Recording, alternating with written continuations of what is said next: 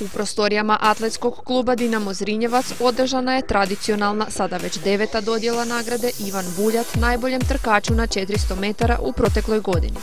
Presretni smo da devet godina imamo jednu lijepu tradiciju ovdje u spomena našega preminulog, tragičnog preminulog atletičara. I gledajte, ova godina je Željko Vince kod devet je osam puta osvojio to ali eto konkurencija je za leđima. Došao je mali Mateo Ružić ovdje, nameću se Udiljak iz Splita i tako dalje. Prema tome, presretni smo da smo napravili izuzetnu konkurenciju upravo na disciplini od 400 metara.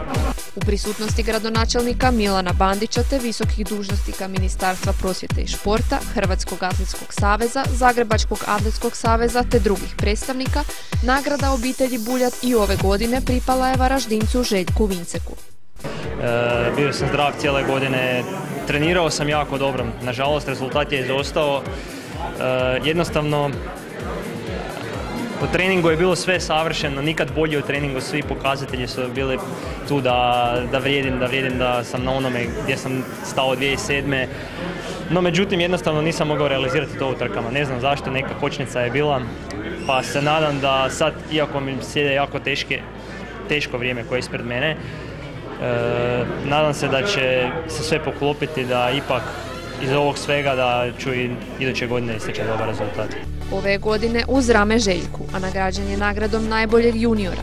Riječ je o vrlo talentiranom Mateu Rušiću koji je uspio uz brojne ozljede na početku sezone ipak doći do ove prestižne nagrade u atletici. Na početku sezone nisam očekivao da će dobiti ovu nagradu jer imao sam ozljedu leđa, nije se ni znao da li ću nastupiti ovu sezonu, imao sam diskus herniju i na kraju nismo ni znali šta ćemo, ali prošlo je i onda je očekivano sve išlo dobrim putem do svjetskog prvenstva kad sam se ozlijedio u polufinalu i od tada sam morao malo, sam pauzirao mjesec dana dok nije prošla ozljeda i sada je sve na mjestu. U sklopu proslave održano je i proglašenje najboljih atletičara atletskog kluba Dinamo Zrinjevac u protekloj godini po kategorijama. Sasvim očekivano nagradu najbolje seniorke kluba odnijela je Sandra Perković, koja nije bila na dodjeli zbog sportskih obveza, već je majka preuzela nagradu umjesto nje. Najbolji senior je očekivano bacač diska Roland Varga. Dvoje atletičara, koji to je Sandra Perković, to je Ronald Varga, državni rekorderi, ljudi koji se nalaze na svjetskim tablicama.